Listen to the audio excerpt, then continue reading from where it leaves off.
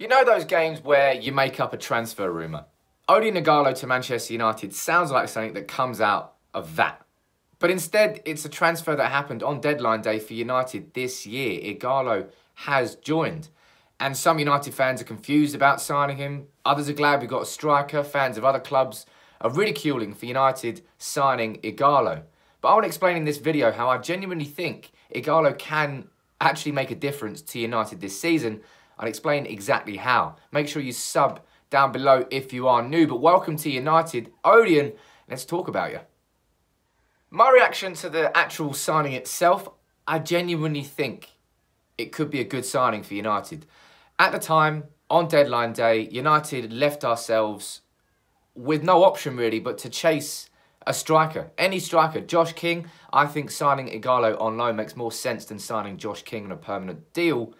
But Ighalo was not a name that any of us would have mentioned. But at the time on deadline day, we gave ourselves no option. Now that's down to poor recruitment strategy, which I will talk about later. But given that Ighalo has experience in the Premier League and has scored goals in the Premier League, it's a striker that we needed to sign, no matter who it was. Spurs and Chelsea were desperately trying to sign a striker on deadline day. They were left empty-handed, but instead United have got Ighalo and he could make a difference this season. Look, if he goes on to score five or ten goals, it will go down as a great signing.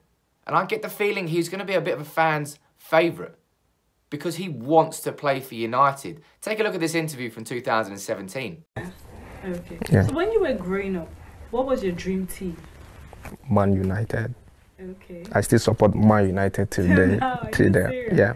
Okay. And now that you're where you are, what's the one team you would love, love, love to play for? Man United. Man United. Ighalo there saying that his dream move would have been to United and he's got it. So Ighalo's just going to be living out his dream for the next three to four months and he will want, desperately, desperately want to be a success. So he will give everything to try and make this three-month period, which we all know is going to be a short-term deal for the 30-year-old, but he'll want to try and turn it into a permanent move. And with that sort of desire, he will I think, be a good signing for United. Hopefully, like Henrik Larsson, when we got him in January, didn't score that many goals, but he went down as a fan favourite. And I hope Ighalo could do the same. But in terms of what he actually will bring to the club, it's really quite simple when you look at the goals that he has scored in the Premier League. Take a look at this. Here's a screenshot or a picture of every single goal in the Premier League that Ighalo scored for Watford. Take a look at this and see if you can spot a pattern.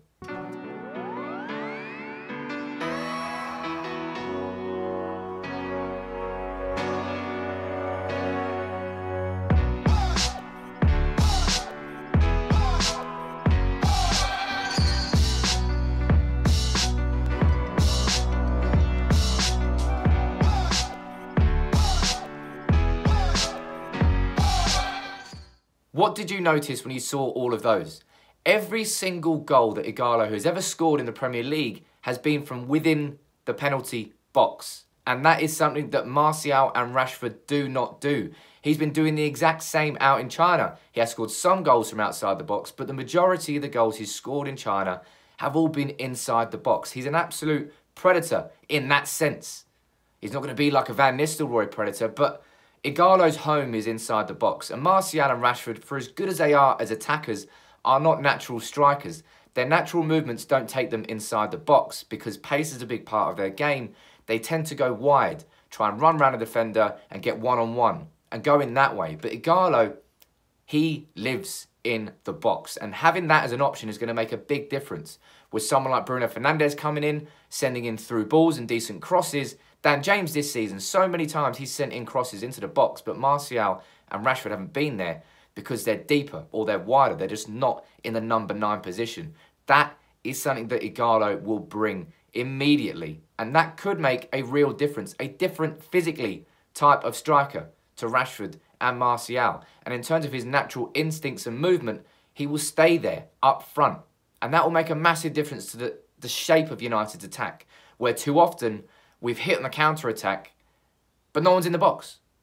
Ighalo isn't going to be a counter-attacking type player, hasn't got the pace for that. But he offers something different, and that's why I think it is a good signing this January. In terms of a short-term striker, Ighalo makes perfect sense for United. If Bournemouth accepted our bid for Josh King, would we have got him? Probably. We were looking at Slimani. We failed with Haaland, who moved to Dortmund, but United needed a striker. And the fact that we were chasing strikers on transfer deadline day goes to show the real problem, which still exists with United's recruitment, because we shouldn't have been left on the last day desperate for a new striker. We should have put the money in. If we're going, if we're willing to spend 30 million on Josh King, put a little bit more money aside, do it earlier in the window, and bring a proper striker in. It, we didn't, and we were left in a situation where it was probably Ighalo or nothing. And Ighalo is definitely the right answer in that scenario. And I think he can go on to be better than I think most fans who are ridiculing United are expecting him to score one, maybe two goals and do nothing else. And you know what? That might happen. But it's a risk free signing for United. Because we ballsed up by not signing one earlier in the window, we needed one and we got Ighalo. And if he goes on to score a few goals and makes a little bit of a difference, it will be a good signing. It's a short term stopgap solution ahead of the summer where we need to spend big on a big striker, someone like Timo Werner, someone established and top level. Bruno Fernandes is top level. Ighalo isn't.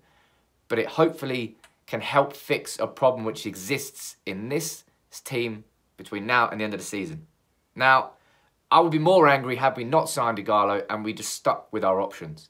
Instead, we've got Ighalo. Let's see what he can do. Let's get behind him, support him. He wants to play for United. That makes a big difference. And he is a striker, more of a poacher than a wide forward or an attacker. He will live inside that box. He'll probably break his nose to score a goal. That's what Solskjaer wanted, and that's what we've got. So yeah, this is some propaganda. And I do want to see Ighalo be successful. Of course I do. He's now a United player, so I'm going to support him. But let me know what you think about Ighalo. Can he make a difference? Do you think I'm right here in saying that he can be that poacher, that different type of striker? Or do you just not expect him to be able to come from China and adapt to the Premier League again? Let me know what you think in the comments below. But welcome to United, Odion. I think could be a fan favourite. Let's see you score some goals.